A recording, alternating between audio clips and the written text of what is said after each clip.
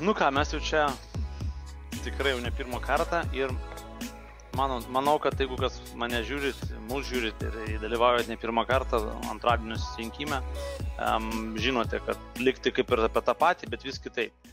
Ir iš tikrųjų šiandien norėčiau pradėti net ne nuo to, kodėl aš tai padariau, o nuo to, kad jeigu jūs prisijungiat, jūs prisijungiat į tokį traukinį, kuris nesirašė sustoti.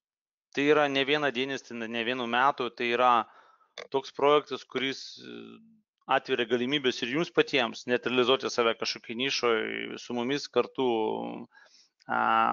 Atsiranda vis, atsiras daugiau galimybių investuoti, investuoti į tikrus dalykus. Pavyzdžiui, aš kažkada kalbėjau prieš 3-4 metus, kad aš norėčiau turėti ir savo banką, kad nemokėtų tokių mokesčių, ir investicinį fondą investuoti, pavyzdžiui, nekilnojamą turtą, kai mūsų bus 5 tūkstančiai, 10 tūkstančių, tai geriau jau tos 2-3 tūkstančius, pavyzdžiui, ten investuoti ir tapti akcininku, dalininku kažkokio fondo, kuris uždirba realius pinigus, kur mes visi dalininkai, o ne kažkam atidavę ir nežinom, tas bankas bankrotos, ten dar koks nors dalykas atsitiks, pinigas pasikeis ir taip toliau.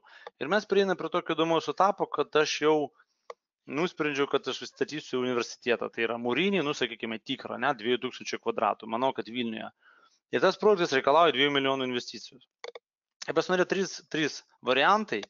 Ir aš tik šiandien suvokiu, kad tas trečias atsirado, kuris iš tikrųjų visada buvo.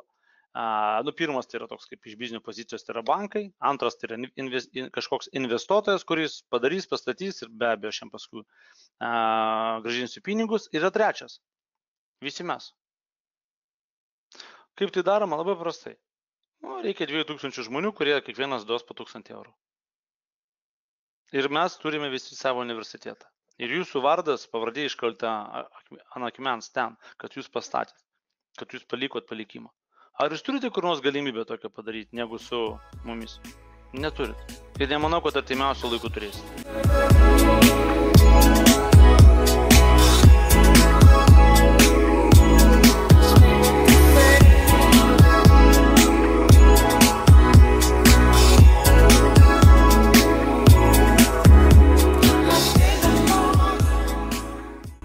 Ką reiškia komanda ir jėga. Kol jūs vieni, kol jūs manote, kad susitvarkysite, kol jūs galvojate, kad pasidėsite pasislėpę, sulauksite pensijos ir taip toliau, parodykit man laimingų pensininkų, kažkaip nematau aplinkui. Ir todėl jūs galite ženkliai padaryti, nors atrodo maži esate ir galvojate, ką tai mano pinigai ar mano pastangos, arba ašgi nieko nežinau, ką aš galiu padėti, ašgi ne Evgenijus, bet to ir nereikia. Būkite savimi.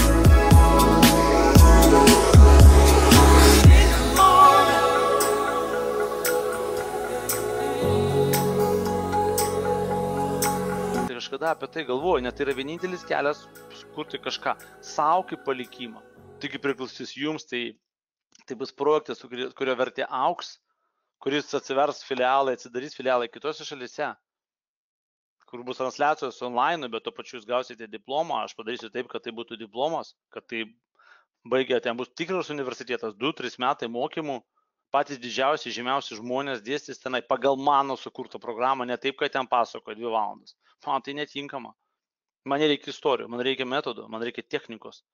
Man reikia realiai, kaip spręsti savo gyvenimo situacijas. Ir tokį, tokį patirtį įgauti, to išmokti ir gauti tą patį diplomą, nu manau, kad kokį, į kokį lygį gali iškilti žmogus.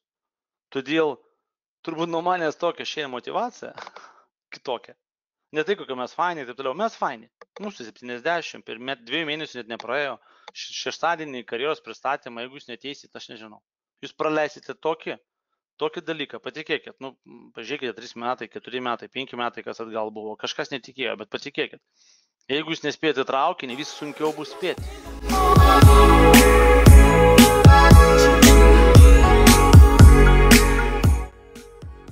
Bus trys universitetai, bus pozicijos, bus ten kažkas dirbs su šalianso partneriu galbūt.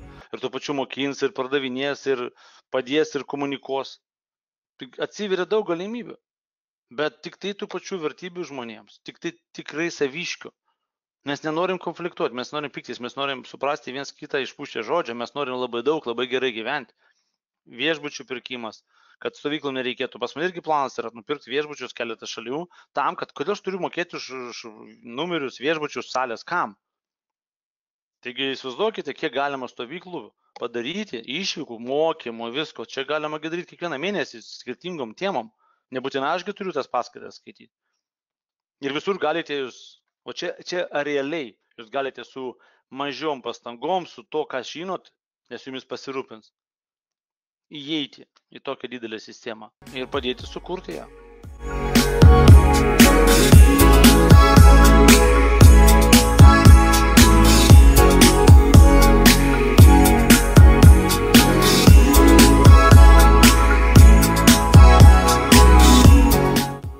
visada toks dalykas buvo, man dažnai užduoda klausimą, kodėl tu darai tai, ką darai.